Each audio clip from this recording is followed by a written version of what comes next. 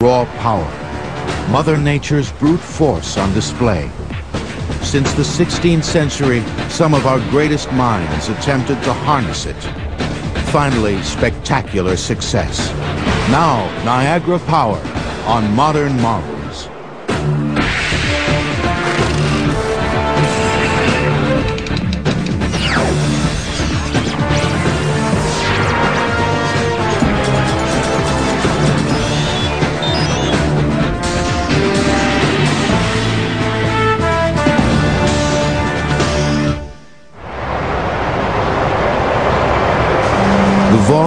Water held by 1 million bathtubs goes over Niagara Falls' 160-foot drop every second.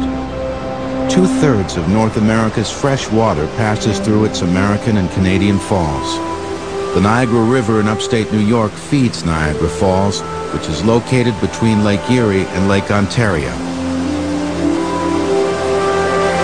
Today, the Niagara Power Project that harnesses just one-third of the fall's hydroelectric potential is the fifth largest electricity producer in the United States, as well as the largest electricity producer in New York State.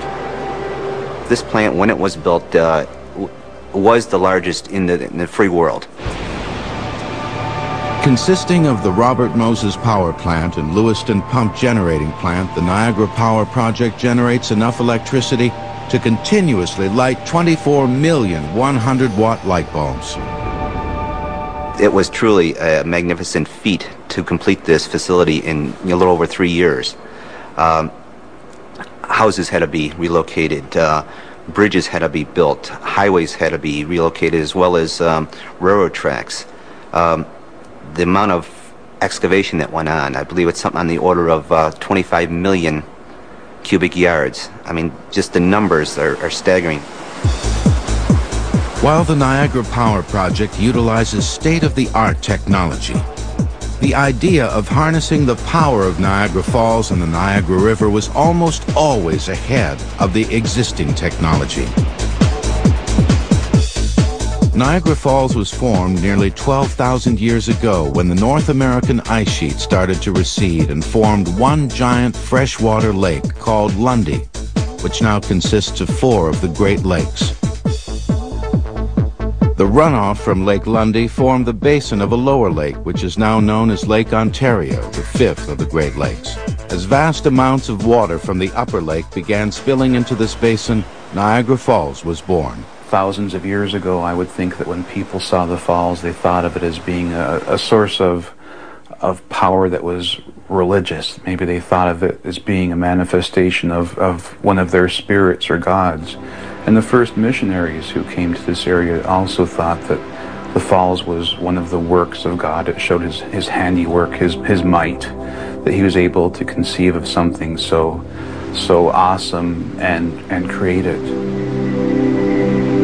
The missionaries may have stood back, admired, and revered the falls, but others wanted to utilize the power. In the mid 1600s, uh, a Frenchman by the name of Joncaire built a, a, a mill above the American Falls, near the American Rapids, and he used this mill to cut lumber. In fact, this mill was very useful at that time because it was the time of the French and Indian War, and they used the power from this mill to cut planks for warships. Even though Joncaire's idea spurred interest in the area, little would be accomplished for 150 years. Niagara Falls was the most impressive, awesome, and sublime power source in the world. And in people's imagination, there was no other place that conveyed power to the extent of Niagara Falls. And everyone wanted to put this to use. By 1805, New York State officials were granting unlimited water diversion rights to various private power ventures. At a public auction, Judge Augustus Porter and his brother Peter purchased water rights to the American Eastern Rapids above and below the falls. It, was basically the same problem they had hundreds of years earlier. There just wasn't sufficient technology to utilize all the power that could be generated by the falls. Uh, smaller falls were more than sufficient and they were much easier to, to harness.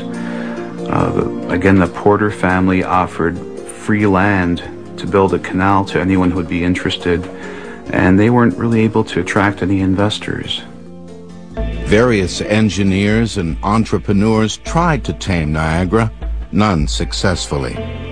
Until 1860, when the Niagara Falls Hydraulic Power and Manufacturing Company built a canal 35 feet wide and 8 feet deep.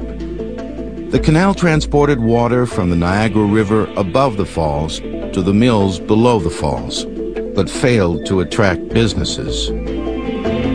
Soon after the canal was completed, the company went bankrupt.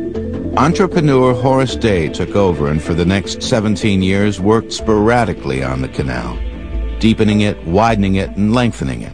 But he had only one customer and also went bankrupt in 1877.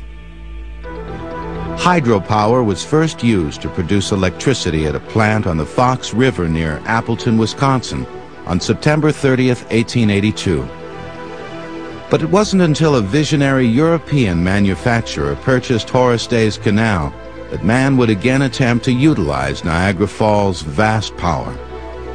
Jacob Schoellkopf was a German immigrant who came to Buffalo in the mid-1850s. He was an affluent tanner who saw a good business opportunity. After he purchased the canal, he built a few mills there. He attracted the interest of other mill owners from Buffalo. Before long, there were grain mills there and pulp, pulp mills and other small manufacturing outfits, which was all well and fine, but even so, this still represented sort of an old way of harnessing power. Now, in the 1880s, uh, an engineer, in fact, an engineer who worked for the Erie Canal, Thomas Evershed put forth a proposal that kind of was a bridge between what Schoellkopf did and what would be done at the Niagara Falls Power Company. He proposed building an inlet canal off the upper river, which would in turn have individual mills located along it. But at a point above the falls, this, this canal would suddenly end and the water would be emptied underneath the city. Um, that's the part that was kind of a unique take on it, the idea of having a tail race tunnel built under the city. Um, this, this concept drew a lot of, of interest. Some of the nation's leading financiers lined up behind Evershed's plan and were willing to invest their capital in it. These included Vanderbilt's, Astor's, Morgan's, uh, Edward Dean Adams, who later became the president of the Niagara Falls Power Company and its first historian. Uh, big money uh, behind it. Evershed's tunnel would generate 200,000 horsepower at the falls by turning gigantic water wheels. The tunnel would be two miles long and at least 160 feet deep. The problem with the Evershed plan was that it was rooted in the past.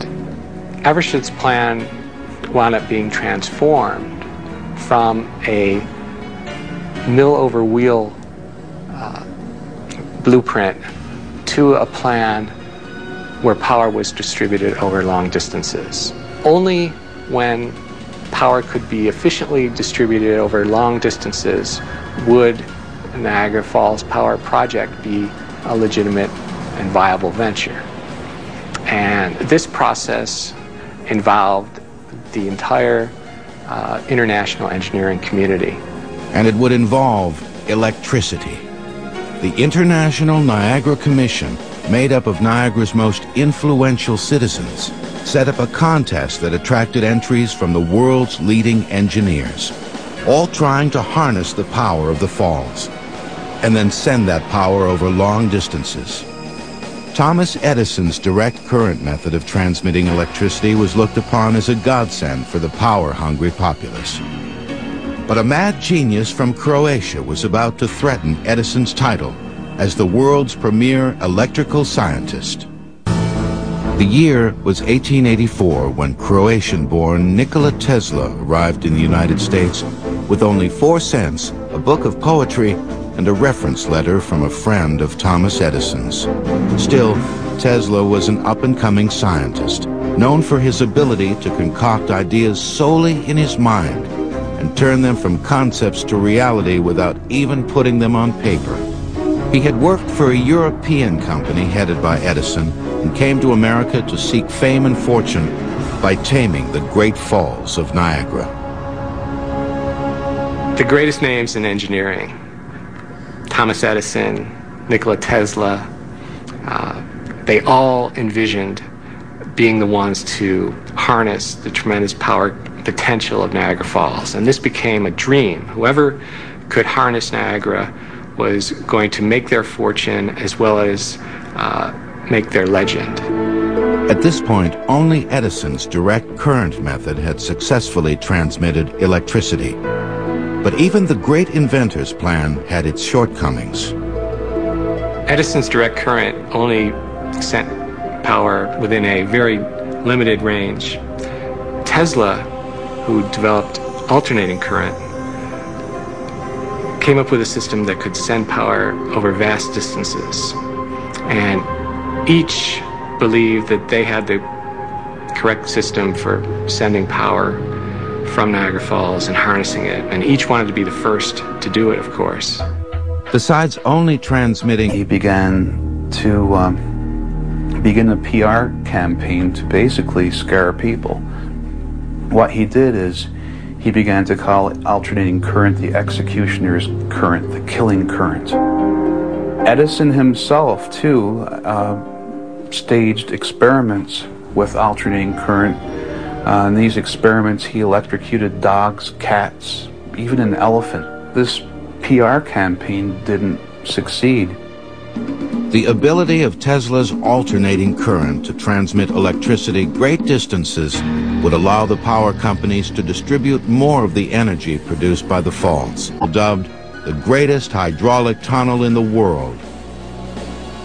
Workers displaced 300,000 tons of rocks. 20 million bricks lined the tunnel, and two and a half million feet of oak and yellow pine were used to shore it up. Water drawn from the canal would move through the forebays, or intake reservoirs, and into the penstocks, large vertical pipes about 8 feet in diameter, before entering the turbines. Once there, the water would spin a gigantic metal wheel and then move up a 160-foot long shaft that went up to the generator, which was located on the main floor of the powerhouse. The canal would produce 100,000 horsepower of electricity. Company executives were relieved that only 28 workers died during the course of the construction.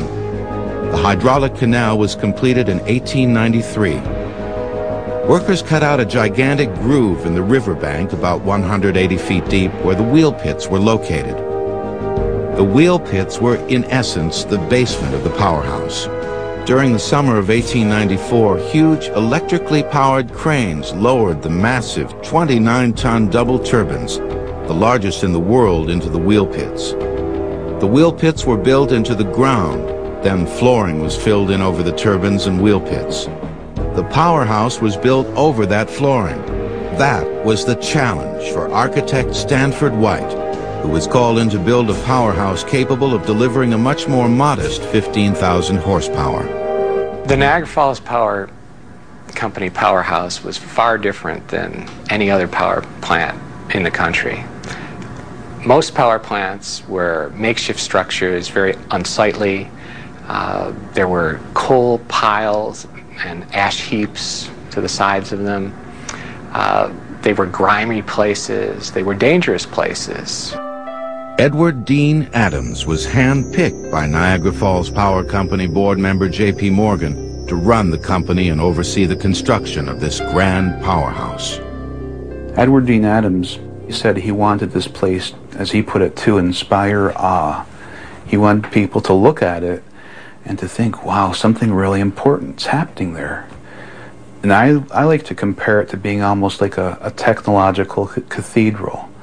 It's a place that's built in a very grand style because something very important, something very unique was taking place there. Now it's become commonplace to us, but back then it was it was something very very impressive. The powerhouse was a work in progress. Originally 140 feet long, by 1903 it eventually grew to 450 feet long and consisted of 11 generators. The renowned architecture firm of McKim, Mead & White designed the switchboard control panel with Italian marble around the steps. Other interior components of the powerhouse were impressive enough to move great writers of the time. The powerhouse, of course, housed the Niagara dynamos. And really what the steam locomotive was to the steam era, the dynamo was to the electric age. This was the mystical power uh, source. And these whirling structures inside the powerhouse had a capability of 5,000 horsepower, which today would, wouldn't be very much. But back in this era, a machine of 100 horsepower was considered quite large. These mystical dynamos were remarkable really for the fact that they were so unremarkable. The uh, writer H.G. Wells talked about them as slumbering black monsters and uh, big whirling tops. Water enters the turbines. A shaft connects the turbine to a rotor, which is part of the generator. As the turbine spins below the generator, it turns the shaft and rotor. To produce electricity, the generator needs magnets and copper wiring. The magnets are affixed to the rotor's rim. The rim sits inside the stator, which surrounds the rotor with almost 400 copper coils. The rotor spins inside the stator, producing electricity in the copper coils. Even with stunning architecture and a nod to Niagara's past, as well as a glimpse into the future, Niagara's hydroelectric power plants didn't fully capture the imagination of the public until 1901. The Pan American Exposition ran for six months at the Buffalo Fairgrounds, only 20 miles from Niagara Falls. A highlight of the expo was the first long-distance transmission of electricity, thanks entirely to power produced from the falls. This display of power would forever alter the future of Niagara Falls. On the same day he visited the Niagara Falls powerhouses, President William McKinley was fatally wounded in Buffalo. Niagara Power will return on Modern Marvels. Niagara Power Companies were able to attract all kinds of industries to Niagara with cheap electricity and the promise of free land and housing for their employees. In the 1890s, once the Niagara Falls Power Company's power project was underway, uh, companies in different parts of the nation heard about this and they thought, well, maybe we should look into Niagara Falls. Um, there were, of course, some small factories in Niagara Falls, but nothing very large scale, nothing really revolutionary as far as its industrial process. Uh, one of the first ones to come to Niagara Falls was the Pittsburgh Reduction Company. They needed lots of power and cheap power to create a product. The Pittsburgh Reduction Company, later renamed Alcoa, was just one of many companies that welcomed the move to Niagara Falls. Edward Acheson's graphite company, which produced carborundum, also took advantage of Niagara's cheap power. But in Acheson's case, the move was made over the objections of his investors. When he announced to his investors that he was going to move his plant to Niagara Falls, some were so outraged and thought this was such a wild idea that they left the company and basically took their toys home with them. They just pulled out of the company. But within the next few years, Acheson showed what a wise choice it was. The carborundum company mushroomed, became a gigantic industry. The turn of the century saw Niagara Falls become a mecca as paper mills, cereal companies like Henry Perky's Shredded Wheat Biscuit Company and Camp Gillette Safety Razor Company appeared on both sides of the border. Interest in utilizing the power of the falls had always existed on the Canadian side. But until the success of the American efforts was evident, the Canadians were content to take a wait-and-see attitude. Once they were convinced of Niagara's promise, Canadian interests soared. There were three power companies uh, developing the uh, potential of Niagara Falls on the Canadian side.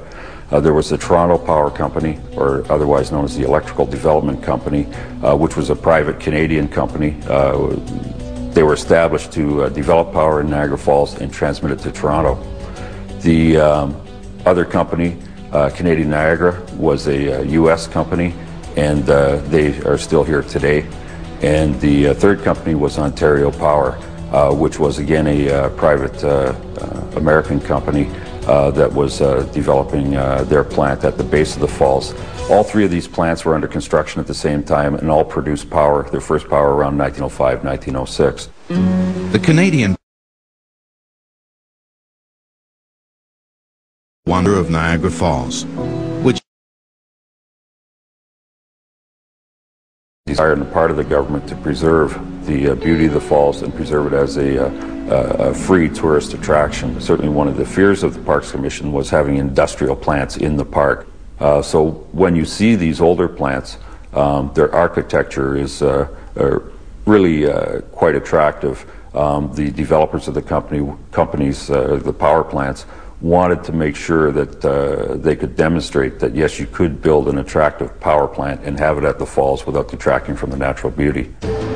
Since 1892, the Edward Dean Adams Station, previously known as Powerhouse Number 1, has operated on the American side of the falls.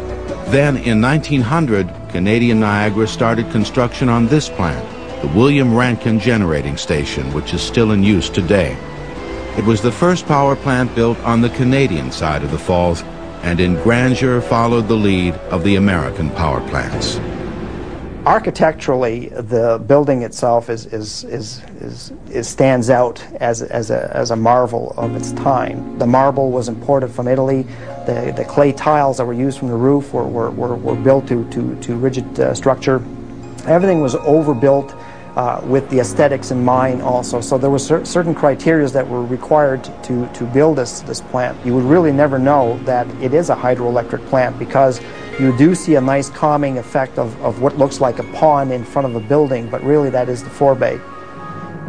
By 1905, the Niagara Falls Power Company had two power stations in operation, while three existed on the Canadian side. There was so much power development going on at Niagara Falls, uh, so many competing interests, and also apparently such a demand for power that a lot of people in the U.S. and Canada be, became concerned that perhaps too much water would be diverted from the river and the falls would practically fade into oblivion. The United States and Canada signed an international treaty in 1907 that strictly regulated the amount of water that could be diverted by the two countries. Power companies that were already established divided up each nation's portion. I myself think if that treaty had not been signed, most of the water would indeed be going through penstocks instead of over the falls, because each of the power companies had plans for further expansion, every single one. And as time progressed, the demand for power did grow, and I'm sure they would have found a market for it. By 1918, the demand for more power did grow but not due to more industry coming to Niagara. With the advent of World War I, international treaty regulations were eased, and the power companies were able to increase their energy output.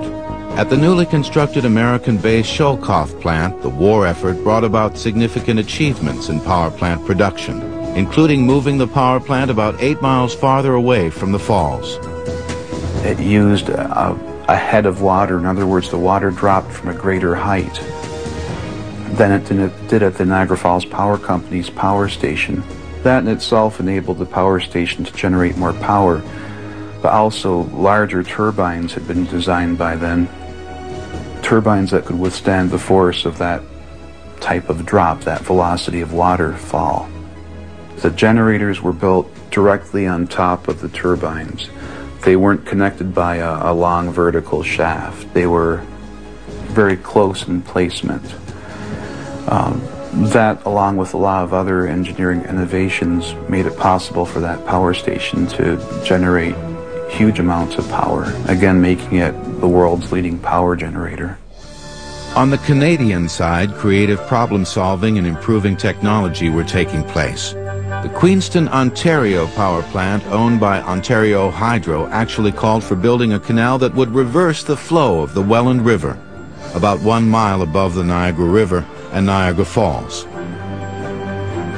The uh, canal certainly was an engineering feat. The uh, construction started in 1917 and uh, it wasn't completed until 1921. Uh, so really a period of four years, intensive effort, horsepower, shovel power, human power, and uh, you see some of the photographs, uh, you know, blasting and uh, um, very real, large, old uh, steam shovels uh, powered by steam. so the labor was intensive, um, but again, it was the state-of-the-art construction techniques of the day. When completed, the Queenston Canal was nearly 13 miles long and could carry up to 600 cubic meters of water per second. By 1921, a massive power plant was needed to house and harness the river's energy. It was a major development, seen as something that was so big that uh, construction was actually put to a public referendum. Um, and uh, that referendum was approved in uh, New Year's Day 1917. The uh, plant uh, would have 10 generators, the total capacity of the plant would be uh, 450,000 kilowatts. It was seen as supplying the power, electric power to the province of Ontario to the turn of the century. When it was completed in uh, 1925, it was indeed the largest power plant in the world. While the Niagara power plants continued to grow in size, the technologies developed during World War I would change Niagara's role as the world's leading hydroelectricity producer. In fact, mammoth hydroelectric power plants larger than anything seen at Niagara started cropping up in New York City, Chicago, and Arizona. These new power plants combined large building sites, upgraded technology, and government involvement, practically making Niagara's turn-of-the-century powerhouses obsolete. In early 1949, Alcoa, at one time the world's largest user of electricity, shut down its Niagara plant and moved south. It would take a tragedy for Niagara to regain its place as the leader of hydroelectric power.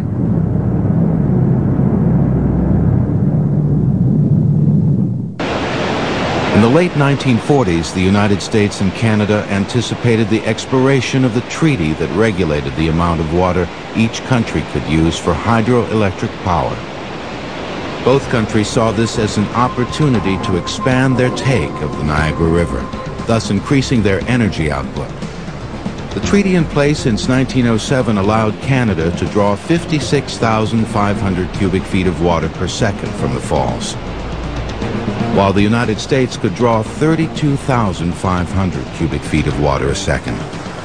The new treaty signed in September 1950 declared that once the scenic protection of the falls was guaranteed, all the water in the Niagara River could be used to develop power. This meant that not less than 100,000 cubic feet of water per second must be allowed to flow over the American and Canadian falls during the summer months, while the flow would be reduced to 50,000 cubic feet between November and April. Only four days after the treaty was signed, Ontario Hydro had plans underway for Sir Adam Beck Station Number 2. Construction started in 1950. The uh, diversion of water from above the falls to the power plants downstream uh, involved the construction of two uh, tunnels approximately 40 feet in diameter each. The uh, construction of the tunnels was uh, uh, um, essentially a mining technique drill and blast and uh, pour concrete on the spot. There was considerable disruption uh, in throughout the city of Niagara Falls over a period of four years where uh, uh, material would be brought to the surface uh, through various surface, service shafts throughout the city.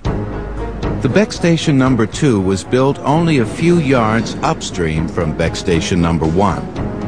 When completed, it produced 700,000 horsepower, and it cost $157 million. On the American side, the New York State Power Authority wanted to follow Canada's lead and build a state-of-the-art plant. But after six years of political wrangling, the Power Authority's plans were still on the drawing board. That is, until a power plant collapsed on the American side of the Niagara Gorge on June 7, 1956. The 1924 Schoellkopf plant was the largest electricity provider for the eastern seaboard. Forty years after the accident, there is still no single explanation for the Schoellkopf disaster, but a major factor appears to be connected to an earthquake 10 years earlier. Back in the early 40s, I remember being in the lower part of the last unit they built making measurements, and there was a big indication that there was a lot of deformation down in there. There were also several leaks along the back wall of the powerhouse, but it was several years before these problems grew larger and needed to be addressed. So that sometime in the early 1956, it was decided that we were going to try and stop those leaks. And we were going to drill a number of holes in the high bank and pump grout down these holes to try and seal up this leakage. A team of engineers drilled holes 300 feet deep in order to reach the forebay's concrete walls, which had developed fissures. There were three people at the power plant when the accident occurred. Machinist Norman Draper was the only fatality.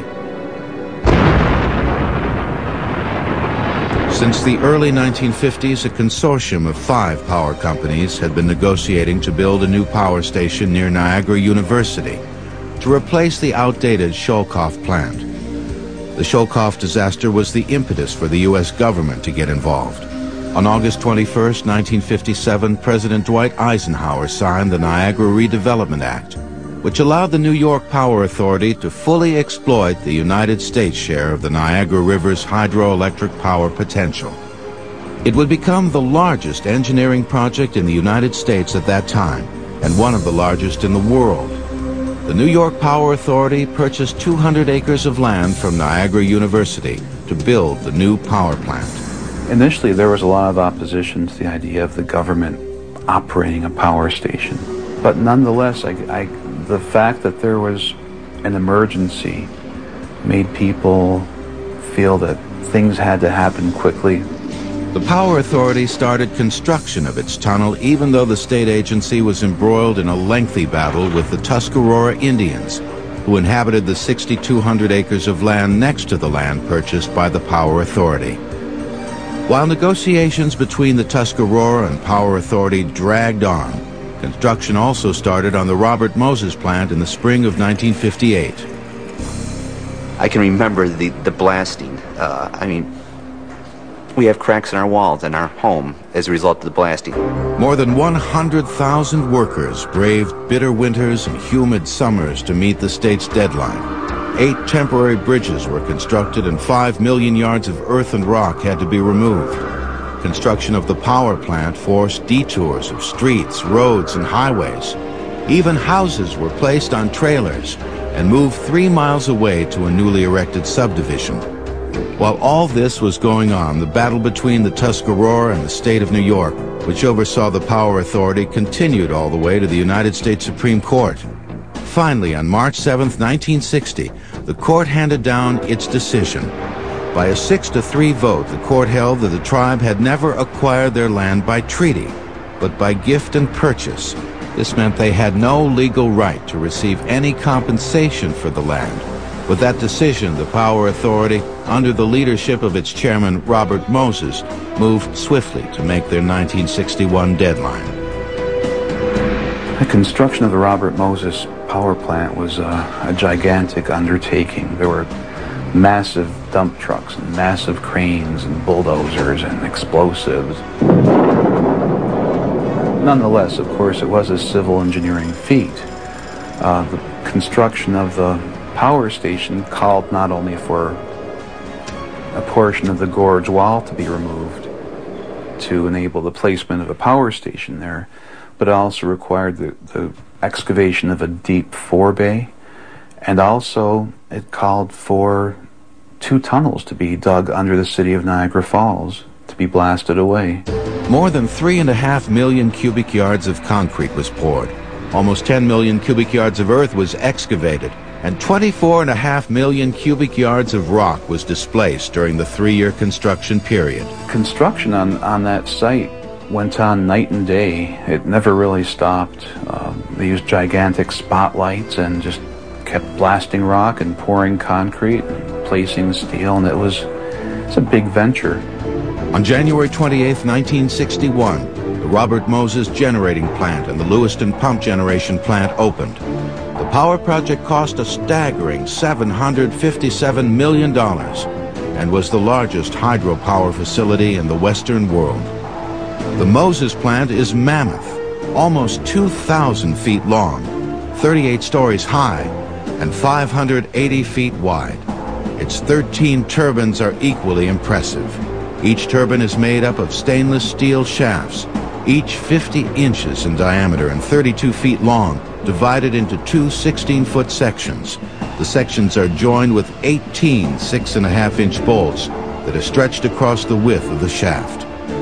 With the new power plants came new technology. The Moses and Lewiston plants employed a new technique to transport water from the river to the 1900-acre reservoir. The tunnel that delivers the water, or I should say the tunnels, we refer to them as the conduits that uh, bring the water from the upper Niagara River, um, they were completed in a, a method called cut and cover. Two trenches were initially dug in the ground, and then they were take and in.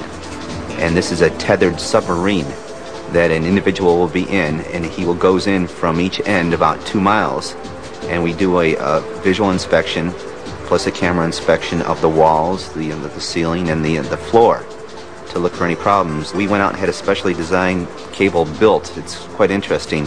It's a cable which has the mechanical strength necessary to pull the submarine back if it had to. It has uh, electrical feed, obviously, for the uh, electrical equipment on board, and it has fiber optics in the center to bring the, uh, the video back. But that's only half the battle in turning water from the Niagara River into electricity for the eastern seaboard. If the canal walls are safe, water that's diverted from the Niagara River will flow into penstocks. We have 24-foot diameter penstocks, which brings the water down from the forebay down to the, the generator itself. The generator sits down here in the main powerhouse, uh, where the turbine will spin inside a scroll case. The water that's being delivered from the 24-foot uh, diameter penstock passes through the scroll case, forcing the water into a, a turbine. Uh, the turbine acts as a water wheel does, turning the shaft of the generator. From there, the power flows up through um, underground conduits up into the switchyard. From the switchyard, it flows out on 21 different transmission lines uh, to various parts of the state. The advent of the state-of-the-art Niagara Power Project was the death blow for the turn-of-the-century plants. Niagara Falls Power Company powerhouses number one and number two were permanently shut down on September 30th, 1961, amid little fanfare. Hydropower accounts for 15% of the world's electricity. Niagara Power will return on Modern Marvels. The Niagara power plants had moved easily into the second half of the 20th century, running smoothly, efficiently, all but invisible to the public. The Niagara Power Project remains the largest electricity producer in New York State, meeting 10% of the state's overall power needs. But as its federally regulated license comes up for renewal in 2006, the Niagara Power Project must continue to reinvent itself and its ability to produce electricity. We're always looking at ways of improving our maintenance. Uh, we're looking at what technology can bring as far as improvements to uh, you know what we have here. Many of the equipment we have, uh, many of it's still original equipment. Much of it's been updated, but uh, some of it is just the, the, basic technologies of the, the conversion of uh, you know hydropower into electricity uh, hasn't changed much. So we're looking at all that and trying to you know keep pace with it and uh, move forward. Renovation at the Moses plant won't be completed until 2006. It will upgrade the existing 13 turbine generators and will enable the plant to use 6 million extra gallons of water a minute, producing up to 14% more electricity during periods of high consumer demand. On the Canadian side, Ontario Hydro Company, the operators of the Sir Adam Beck plants, are also looking to expand. The use of the Niagara River is uh, governed by international treaty between Canada and the United States. On the Canadian side, we are not yet using our full potential available through the uh, treaty. Right now, we are actively considering the construction of a, uh, a new tunnel that would provide more water to the existing uh, Beck power plants. The tunnel would be built below the existing tunnels and would be more than 12 miles long and 37 feet wide. The project is estimated to cost between 300 and 500 million dollars. It would increase the power output of the Beck generating stations by 12 percent. For more than 100 years, Niagara Falls has served as inspiration for scientists and lovers of nature alike. Niagara Falls had always bespoken raw power.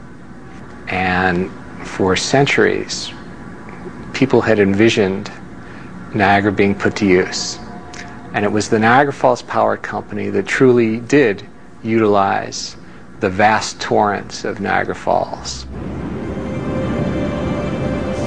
They managed to construct something that basically changed the world. It set the pace for our modern day life. The American and Canadian Niagara power plants were the inspiration for today's massive electrical and hydroelectrical power ventures. For centuries, Niagara Falls has been a vision for dreamers mesmerized by the natural spectacle. Today, Niagara Falls power plants continue to delicately balance the fine line between exploitation of the falls and our desire to use the energy that abides there. Raw power, Mother Nature's brute force on display. Since the 16th century, some of our greatest minds attempted to harness it. Finally, spectacular success. Now, Niagara Power on Modern Marvel.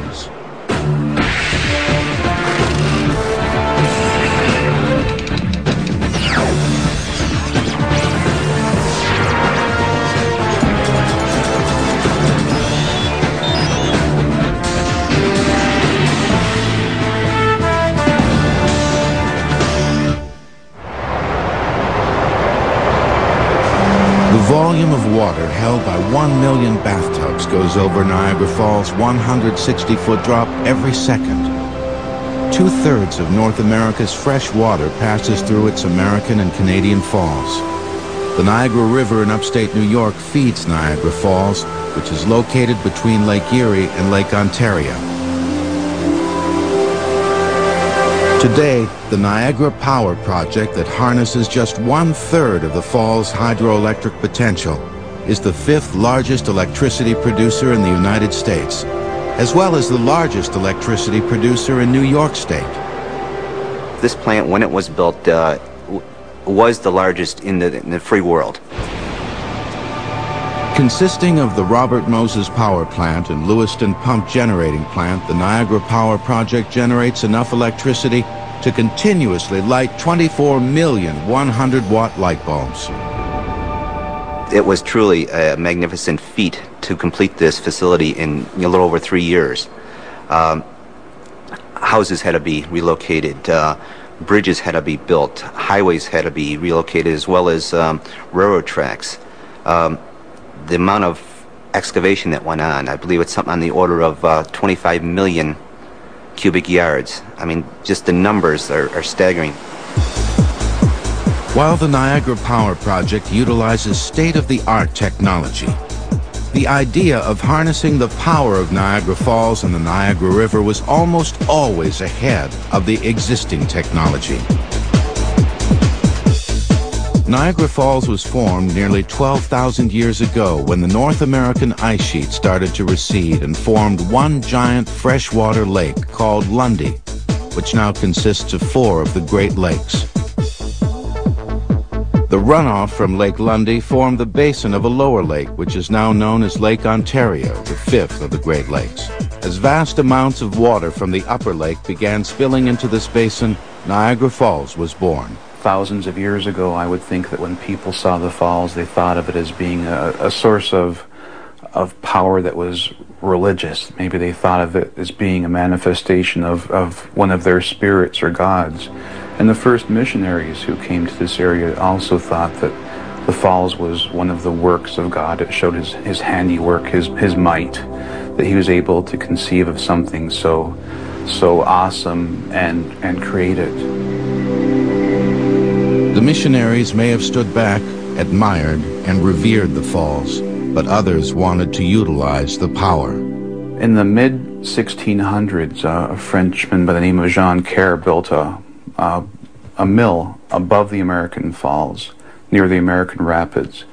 And he used this mill to cut lumber. In fact, this mill was very useful at that time because it was the time of the French and Indian War. And they used the power from this mill to cut planks for warships. Even though Joncaire's idea spurred interest in the area, little would be accomplished for 150 years.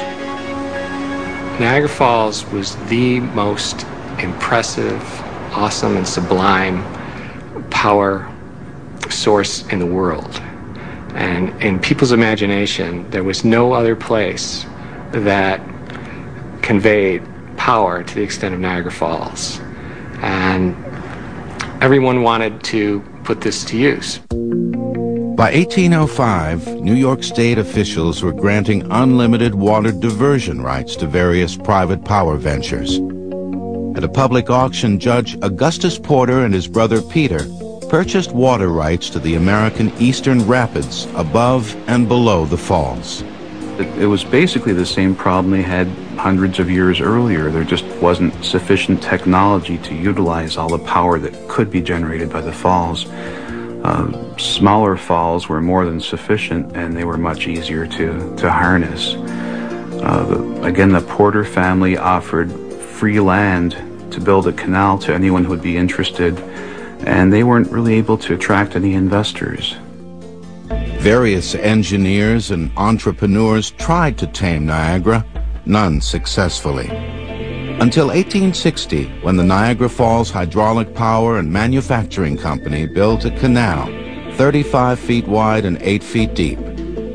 The canal transported water from the Niagara River above the falls to the mills below the falls, but failed to attract businesses. Soon after the canal was completed, the company went bankrupt. Entrepreneur Horace Day took over and for the next 17 years worked sporadically on the canal, deepening it, widening it, and lengthening it. But he had only one customer and also went bankrupt in 1877. Hydropower was first used to produce electricity at a plant on the Fox River near Appleton, Wisconsin on September 30, 1882. But it wasn't until a visionary European manufacturer purchased Horace Day's canal that man would again attempt to utilize Niagara Falls' vast power. Jacob Schoellkopf was a German immigrant who came to Buffalo in the mid-1850s. He was an affluent tanner who saw a good business opportunity. After he purchased the canal, he built a few mills there. He attracted the interest of other mill owners from Buffalo. Before long, there were grain mills there and pulp, pulp mills and other small manufacturing outfits, which was all well and fine, but even so, this still represented sort of an old way of harnessing power. Now, in the 1880s, uh, an engineer, in fact, an engineer who worked for the Erie Canal, Thomas Evershed put forth a proposal that kind of was a bridge between what Schoellkopf did and what would be done at the Niagara Falls Power Company. He proposed building an inlet canal off the upper river, which would in turn have individual mills located along it. But at a point above the falls, this, this canal would suddenly end and the water would be emptied underneath the city. Um, that's the part that was kind of a unique take on it, the idea of having a tail race tunnel built under the city. Um, this, this concept drew a lot of, of interest. Some of the nation's leading financiers lined up behind Evershed's plan and were willing to invest their capital in it. These included Vanderbilt's, Astor's, Morgan's, uh, Edward Dean Adams, who later became the president of the Niagara Falls Power Company and its first historian. Uh, big money uh, behind it. Evershed's tunnel would generate 200,000 horsepower at the falls by turning gigantic water wheels. The tunnel would be two miles long and at least 160 feet deep. The problem with the Evershed plan was that it was rooted in the past. Evershed's plan wound up being transformed from a mill over wheel uh, blueprint to a plan where power was distributed over long distances. Only when power could be efficiently distributed over long distances would Niagara Falls Power Project be a legitimate and viable venture. And this process involved the entire uh, international engineering community. And it would involve electricity. The International Niagara Commission, made up of Niagara's most influential citizens, set up a contest that attracted entries from the world's leading engineers, all trying to harness the power of the falls, and then send that power over long distances. Thomas Edison's direct current method of transmitting electricity was looked upon as a godsend for the power-hungry populace. But a mad genius from Croatia was about to threaten Edison's title as the world's premier electrical scientist. The year was 1884 when Croatian-born Nikola Tesla arrived in the United States with only four cents, a book of poetry, and a reference letter from a friend of Thomas Edison's. Still, Tesla was an up-and-coming scientist, known for his ability to concoct ideas solely in his mind and turn them from concepts to reality without even putting them on paper. He had worked for a European company headed by Edison and came to America to seek fame and fortune by taming the Great Falls of Niagara.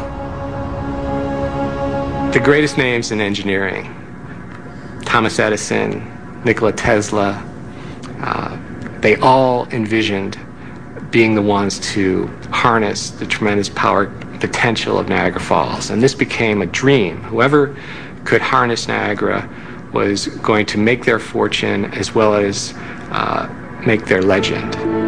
At this point, only Edison's direct current method had successfully transmitted electricity. But even the great inventor's plan had its shortcomings. Edison's direct current only sent power within a very limited range. Tesla, who developed alternating current, came up with a system that could send power over vast distances. And each believed that they had the correct system for sending power from Niagara Falls and harnessing it. And each wanted to be the first to do it, of course. Besides only transmitting, he began to um, begin a PR campaign to basically scare people. What he did is he began to call alternating current the executioner's current, the killing current.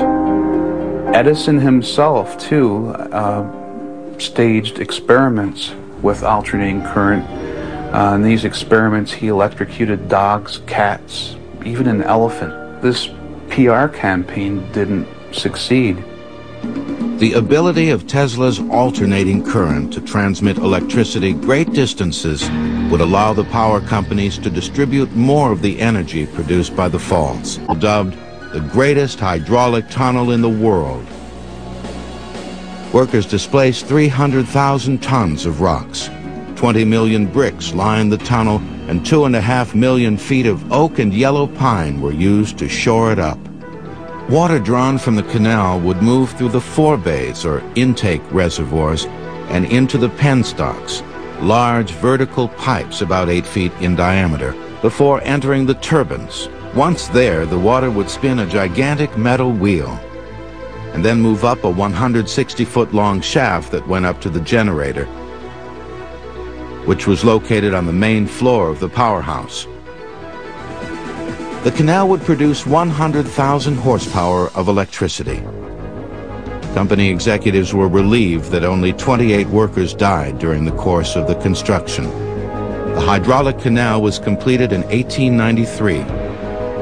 Workers cut out a gigantic groove in the riverbank about 180 feet deep where the wheel pits were located. The wheel pits were, in essence, the basement of the powerhouse. During the summer of 1894, huge electrically powered cranes lowered the massive 29-ton double turbines, the largest in the world, into the wheel pits. The wheel pits were built into the ground, then flooring was filled in over the turbines and wheel pits.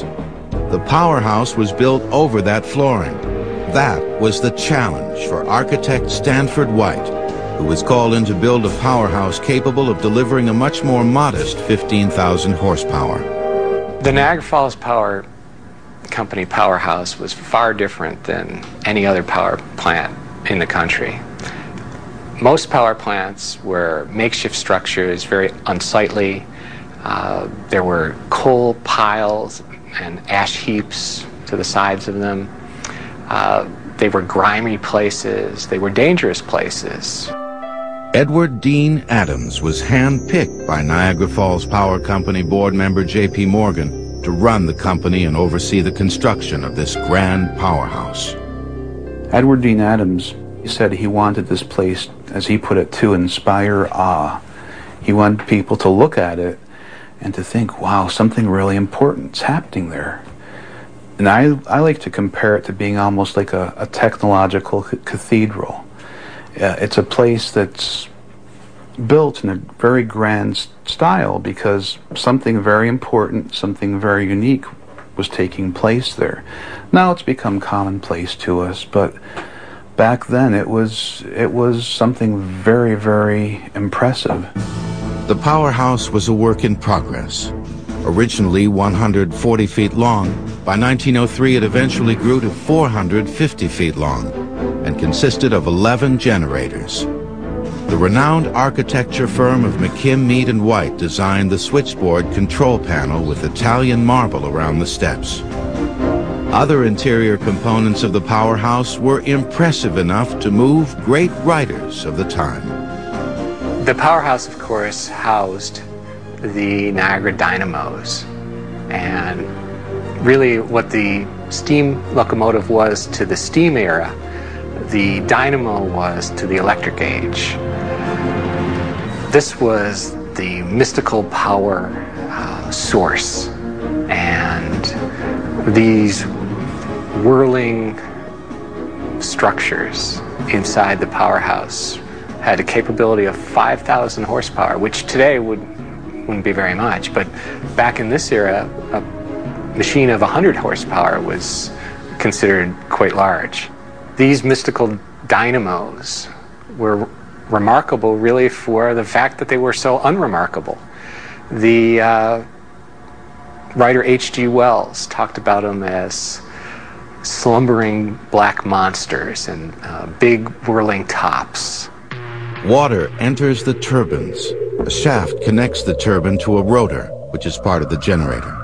As the turbine spins below the generator, it turns the shaft and rotor. To produce electricity, the generator needs magnets and copper wiring. The magnets are affixed to the rotor's rim. The rim sits inside the stator, which surrounds the rotor with almost 400 copper coils. The rotor spins inside the stator, producing electricity in the copper coils. Even with stunning architecture and a nod to Niagara's past, as well as a glimpse into the future, Niagara's hydroelectric power plants didn't fully capture the imagination of the public until 1901. The Pan American Exposition ran for six months at the Buffalo Fairgrounds, only 20 miles from Niagara Falls. The highlight of the expo was the first long-distance transmission of electricity, thanks entirely to power produced from the falls. This display of power would forever alter the future of Niagara Falls. On the same day he visited the Niagara Falls powerhouses, President William McKinley was fatally wounded in Buffalo. Niagara Power will return on Modern Marvels. Niagara Power Companies were able to attract all kinds of industries to Niagara with cheap electricity and the promise of free land and housing for their employees. In the 1890s, once the Niagara Falls Power Company's power project was underway, uh, companies in different parts of the nation heard about this and they thought, well, maybe we should look into Niagara Falls. Um, there were, of course, some small factories in Niagara Falls, but nothing very large scale, nothing really revolutionary as far as its industrial process. Uh, one of the first ones to come to Niagara Falls was the Pittsburgh Reduction Company. They needed lots of power and cheap power to create a product. The Pittsburgh Reduction Company, later renamed Alcoa, was just one of many companies that welcomed the move to Niagara Falls. Edward Acheson's graphite company, which produced carborundum, also took advantage of Niagara's cheap power. But in Acheson's case, the move was made over the objections of his investors. When he announced to his investors that he was going to move his plant to Niagara Falls, some were so outraged and thought this was such a wild idea that they left the company and basically took their toys. Raw power Mother Nature's brute force on display. Since the 16th century, some of our greatest minds attempted to harness it. Finally, spectacular success. Now, Niagara Power on Modern Marvel.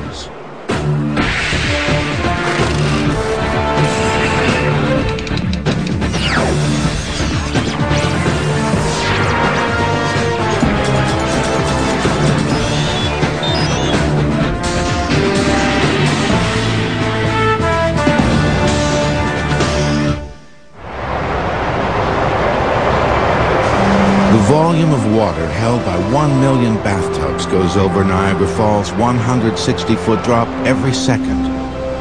Two-thirds of North America's fresh water passes through its American and Canadian falls. The Niagara River in upstate New York feeds Niagara Falls, which is located between Lake Erie and Lake Ontario.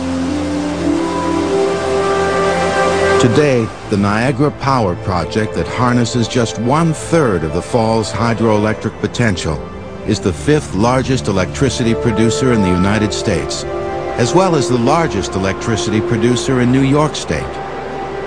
This plant, when it was built, uh, was the largest in the, in the free world. Consisting of the Robert Moses Power Plant and Lewiston Pump Generating Plant, the Niagara Power Project generates enough electricity to continuously light 24 million 100-watt light bulbs.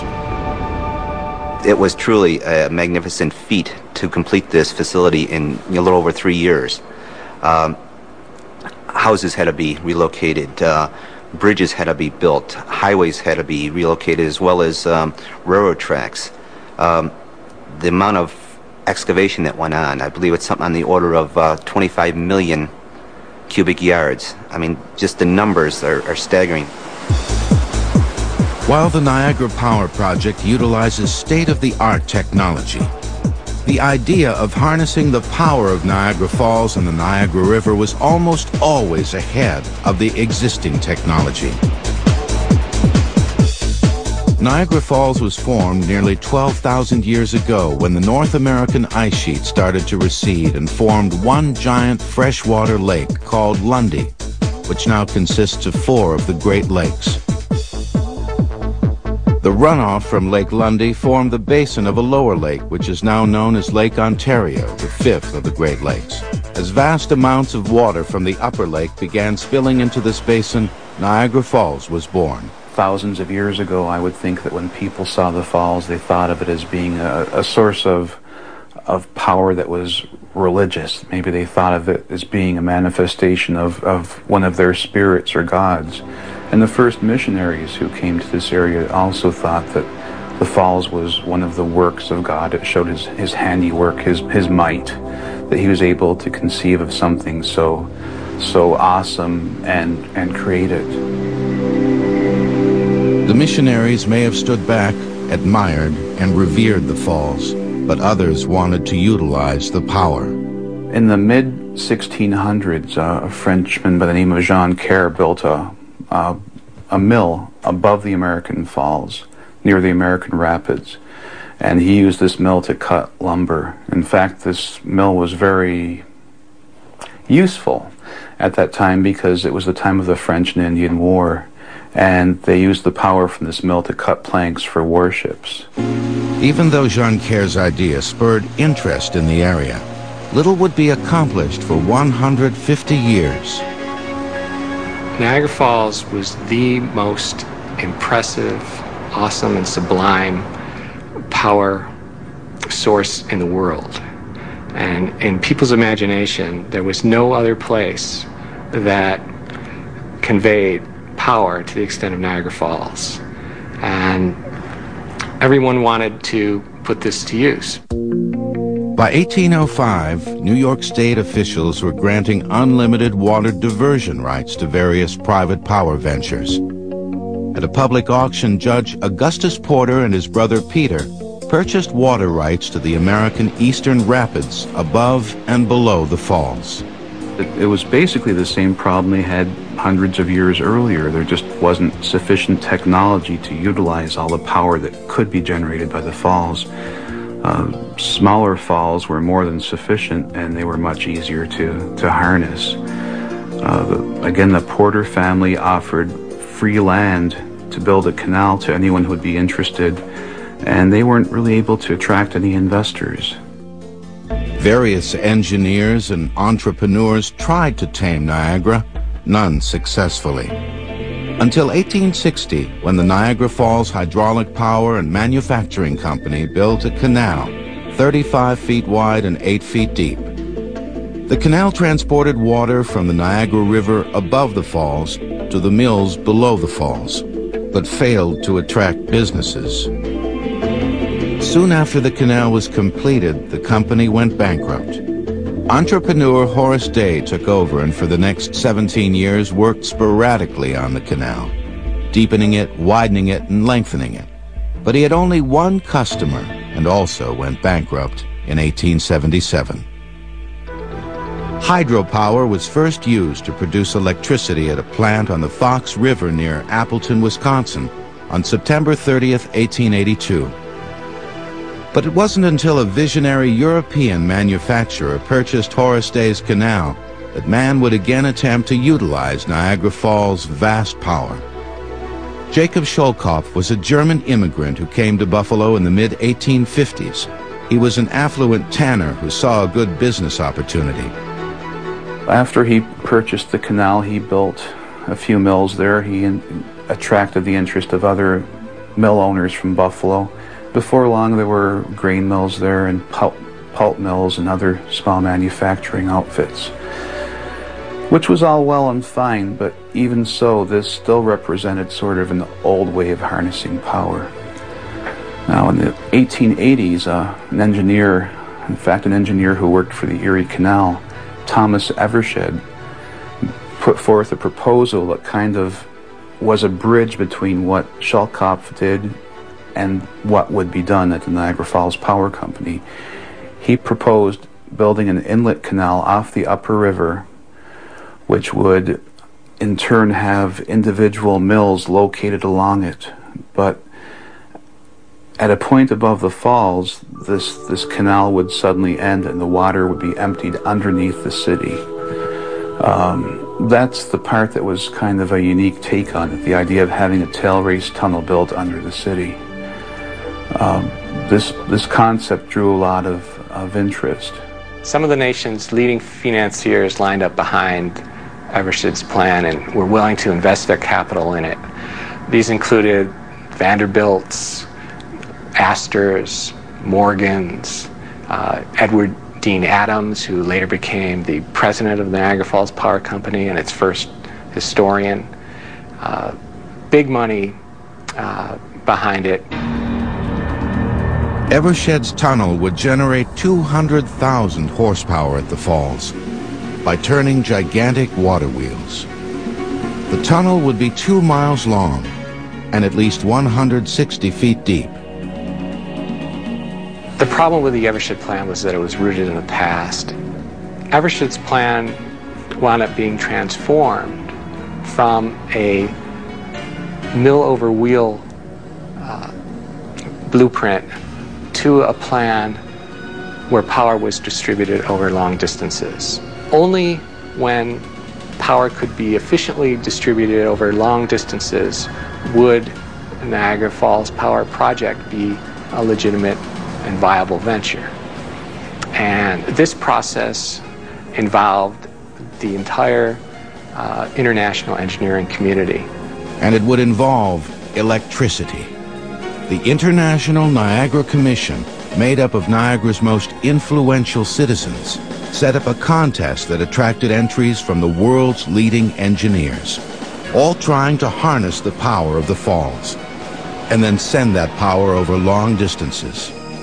Thomas Edison's direct current method of transmitting electricity was looked upon as a godsend for the power-hungry populace. But a mad genius from Croatia was about to threaten Edison's title as the world's premier electrical scientist. The year was 1884 when Croatian-born Nikola Tesla arrived in the United States with only four cents, a book of poetry, and a reference letter from a friend of Thomas Edison's. Still, Tesla was an up-and-coming scientist, known for his ability to concoct ideas solely in his mind and turn them from concepts to reality without even putting them on paper. He had worked for a European company headed by Edison and came to America to seek fame and fortune by taming the Great Falls of Niagara. The greatest names in engineering Thomas Edison, Nikola Tesla, uh, they all envisioned being the ones to harness the tremendous power potential of Niagara Falls. And this became a dream. Whoever could harness Niagara was going to make their fortune as well as uh, make their legend. At this point, only Edison's direct current method had successfully transmitted electricity. But even the great inventor's plan had its shortcomings. Edison's direct current only sent power within a very limited range. Tesla, who developed alternating current, came up with a system that could send power over vast distances. And each believed that they had the correct system for sending power from Niagara Falls and harnessing it, and each wanted to be the first to do it, of course. Besides only transmitting, he began to um, begin a PR campaign to basically scare people. What he did is he began to call alternating current the executioner's current, the killing current. Edison himself, too, uh, staged experiments with alternating current uh, in these experiments, he electrocuted dogs, cats, even an elephant. This PR campaign didn't succeed. The ability of Tesla's alternating current to transmit electricity great distances would allow the power companies to distribute more of the energy produced by the falls, dubbed the greatest hydraulic tunnel in the world. Workers displaced 300,000 tons of rocks, 20 million bricks lined the tunnel, and two and a half million feet of oak and yellow pine were used to shore it up.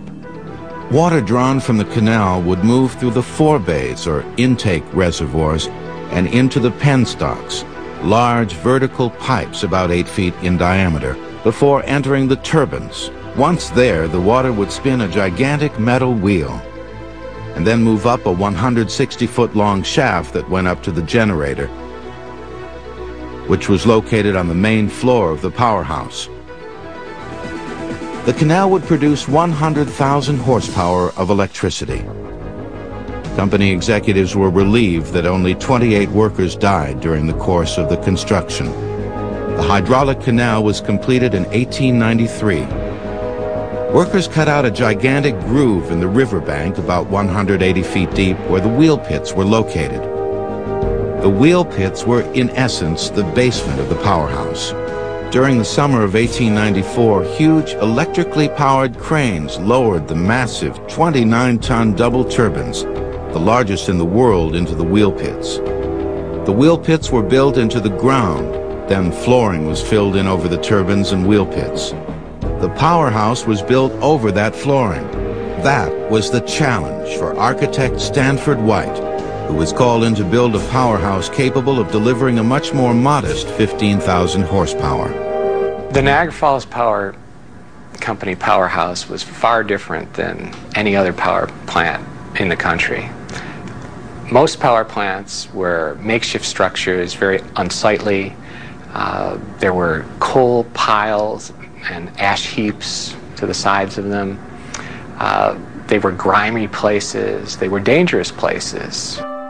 Edward Dean Adams was handpicked by Niagara Falls Power Company board member J.P. Morgan to run the company and oversee the construction of this grand powerhouse.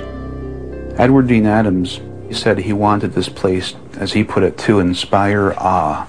He wanted people to look at it and to think, wow, something really important's happening there. And I, I like to compare it to being almost like a, a technological cathedral. Uh, it's a place that's built in a very grand style because something very important, something very unique was taking place there. Now it's become commonplace to us, but back then it was it was something very very impressive. The powerhouse was a work in progress.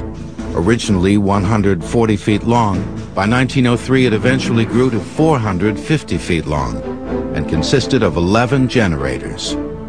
The renowned architecture firm of McKim, Mead and White designed the switchboard control panel with Italian marble around the steps. Other interior components of the powerhouse were impressive enough to move great writers of the time. The powerhouse, of course, housed the Niagara dynamos. And really what the steam locomotive was to the steam era, the dynamo was to the electric age. This was the mystical power uh, source. And these whirling structures inside the powerhouse had a capability of 5,000 horsepower, which today would, wouldn't be very much. But back in this era, a machine of 100 horsepower was considered quite large. These mystical dynamos were remarkable really for the fact that they were so unremarkable.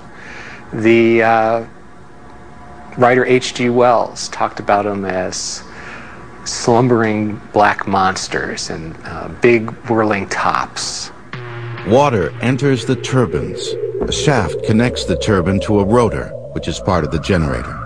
As the turbine spins below the generator, it turns the shaft and rotor. To produce electricity, the generator needs magnets and copper wiring. The magnets are affixed to the rotor's rim. The rim sits inside the stator, which surrounds the rotor with almost 400 copper coils. The rotor spins inside the stator, producing electricity in the copper coils. Even with stunning architecture and a nod to Niagara's past, as well as a glimpse into the future, Niagara's hydroelectric power plants didn't fully capture the imagination of the public until 1901. The Pan American Exposition ran for six months at the Buffalo Fairgrounds, only 20 miles from Niagara Falls. The highlight of the expo was the first long-distance transmission of electricity, thanks entirely to power produced from the falls. This display of power would forever alter the future of Niagara Falls. On the same day he visited the Niagara Falls powerhouses, President William McKinley was fatally wounded in Buffalo. Niagara Power will return on Modern Marvels. Niagara Power Companies were able to attract all kinds of industries to Niagara with cheap electricity and the promise of free land and housing for their employees. In the 1890s, once the Niagara Falls Power Company's power project was underway, uh, companies in different parts of the nation heard about this and they thought, well, maybe we should look into Niagara Falls. Um, there were, of course, some small factories in Niagara Falls, but nothing very large scale, nothing really revolutionary as far as its industrial process. Uh, one of the first ones to come to Niagara Falls was the Pittsburgh Reduction Company. They needed lots of power and cheap power to create a product. The Pittsburgh Reduction Company, later renamed Alcoa, was just one of many companies that welcomed the move to Niagara Falls. Edward Acheson's graphite company, which produced carborundum, also took advantage of Niagara's cheap power. But in Acheson's case, the move was made over the objections of his investors. When he announced to his investors that he was going to move his plant to Niagara Falls, some were so outraged and thought this was such a wild idea that they left the company and basically took their toys home with them. They just pulled out of the company. But within the next few years, Acheson showed what a wise choice it was. The carborundum company mushroomed, became a gigantic industry. The turn of the century saw Niagara Falls become a mecca as paper mills, cereal companies like Henry Perky's Shredded Wheat Biscuit Company and Camp Gillette Safety Razor Company appeared on both sides of the border. Interest in utilizing the power of the falls had always existed on the Canadian side, but until the success of the American efforts was evident, the Canadians were content to take a wait-and-see attitude. Once they were convinced of Niagara's promise, Canadian interests soared. There were three power companies uh, developing the uh, potential of Niagara Falls on the Canadian side. Uh, there was the Toronto Power Company, or otherwise known as the Electrical Development Company, uh, which was a private Canadian company. Uh, they were established to develop power in Niagara Falls and transmit it to Toronto. The um, other company, Canadian Niagara, was a U.S. company, and they are still here today. And the third company was Ontario Power uh, which was again a uh, private uh, American company that was developing their plant at the base of the falls. All three of these plants were under construction at the same time and all produced power, their first power around 1905, 1906. The Canadian wonder of Niagara Falls, which desired the part of the government to preserve the uh, beauty of the falls and preserve it as a, uh, a, free tourist attraction. Certainly one of the fears of the Parks Commission was having industrial plants in the park. Uh, so when you see these older plants, um, their architecture is uh, uh, really uh, quite attractive. Um, the developers of the company, companies, the power plants, wanted to make sure that uh, they could demonstrate that yes, you could build an attractive power plant and have it at the falls without detracting from the natural beauty. Since 1892, the Edward Dean Adams Station, previously known as Powerhouse Number 1, has operated on the American side of the falls. Then, in 1900, Canadian Niagara started construction on this plant, the William Rankine Generating Station, which is still in use today. It was the first power plant built on the Canadian side of the falls, and in grandeur followed the lead of the American power plants. Architecturally, the building itself is, is, is, is, is stands out as, as, a, as a marvel of its time. The marble was imported from Italy. The, the clay tiles that were used from the roof were, were, were, were built to, to, to rigid uh, structure. Everything was overbuilt uh, with the aesthetics in mind also. So there were cer certain criteria that were required to, to build this, this plant. You would really never know that it is a hydroelectric plant because you do see a nice calming effect of, of what looks like a pond in front of a building, but really that is the forebay. By 1905, the Niagara Falls Power Company had two power stations in operation, while three existed on the Canadian side. There was so much power development going on at Niagara Falls um, so many competing interests, and also apparently such a demand for power that a lot of people in the U.S. and Canada be, became concerned that perhaps too much water would be diverted from the river and the falls would practically fade into oblivion. The United States and Canada signed an international treaty in 1907 that strictly regulated the amount of water that could be diverted by the two countries. Power companies that were already established divided up each nation's portion. I myself think if that treaty had not been signed, most of the water would indeed be going through penstocks instead of over the falls, because each of the power companies had plans for further expansion, every single one. And as time progressed, the demand for power did grow, and I'm sure they would have found a market for it. By 1918, the demand for more power did grow, but not due to more industry coming to Niagara. With the advent of World War I, international treaty regulations were eased, and the power companies were able to increase their energy output. At the newly constructed American-based Schoellkopf plant, the war effort brought about significant achievements in power plant production, including moving the power plant about eight miles farther away from the falls.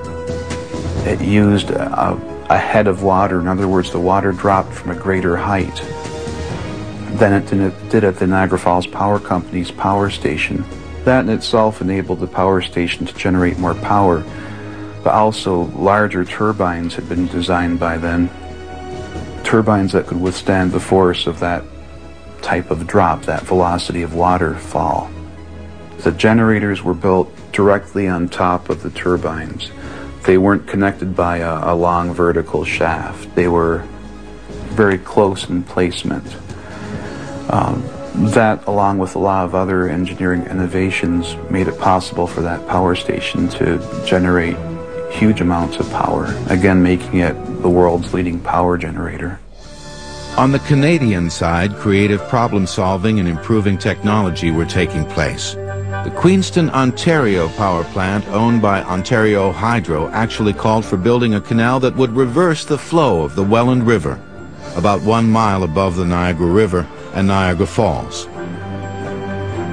The uh, canal certainly was an engineering feat. The uh, construction started in 1917 and uh, wasn't completed until 1921. Uh, so really a period of four years, intensive effort, horsepower, shovel power, human power, and uh, you see some of the photographs, uh, you know, blasting and um, very real large old steam shovels powered by steam. so the labor was intensive, um, but again, it was the state-of-the-art construction techniques of the day. When completed, the Queenston Canal was nearly 13 miles long and could carry up to 600 cubic meters of water per second. By 1921, a massive power plant was needed to house and harness the river's energy. It was a major development, seen as something that was so big that uh, construction was actually put to a public referendum. Um, and uh, that referendum was approved in uh, New Year's Day 1917. The uh, plant uh, would have 10 generators. The total capacity of the plant would be uh, 450,000 kilowatts. It was seen as supplying the power, electric power to the province of Ontario to the turn of the century. When it was completed in 1925, uh, it was indeed the largest power plant in the world. While the Niagara power plants continued to grow in size, the technologies developed during World War I would change Niagara's role as the world's leading hydroelectricity producer. In fact, mammoth hydroelectric power plants larger than anything seen at Niagara started cropping up in New York City, Chicago, and Arizona. These new power plants combined large building sites, upgraded technology, and government involvement, practically making Niagara's turn-of-the-century powerhouses obsolete. In early 1949, Alcoa, at one time the world's largest user of electricity, shut down its Niagara plant and moved south. It would take a tragedy for Niagara to regain its place as the leader of hydroelectric power.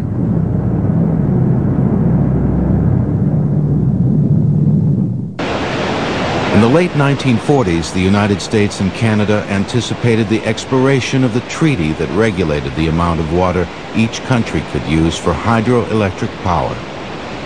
Both countries saw this as an opportunity to expand their take of the Niagara River, thus increasing their energy output.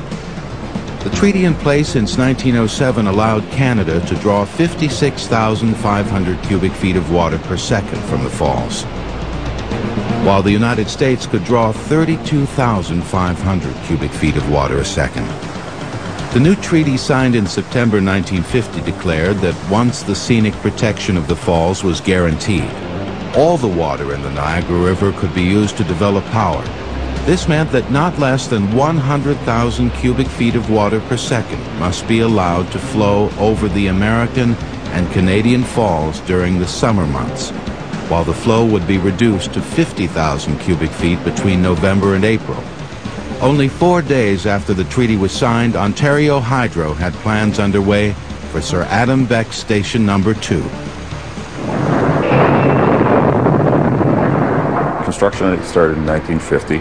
The uh, diversion of water from above the falls to the power plants downstream uh, involved the construction of two uh, tunnels approximately 40 feet in diameter each. The uh, construction of the tunnels was uh, uh, um, essentially a mining technique, drill and blast, and pour concrete on the spot. There was considerable disruption uh, in throughout the city of Niagara Falls over a period of four years where uh, uh, material would be brought to the surface through various surface, service shafts throughout the city. The Beck Station number two was built only a few yards upstream from Beck Station number one. When completed, it produced 700,000 horsepower, and it cost $157 million. On the American side, the New York State Power Authority wanted to follow Canada's lead and build a state-of-the-art plant. But after six years of political wrangling, the Power Authority's plans were still on the drawing board. That is, until a power plant collapsed on the American side of the Niagara Gorge on June 7, 1956.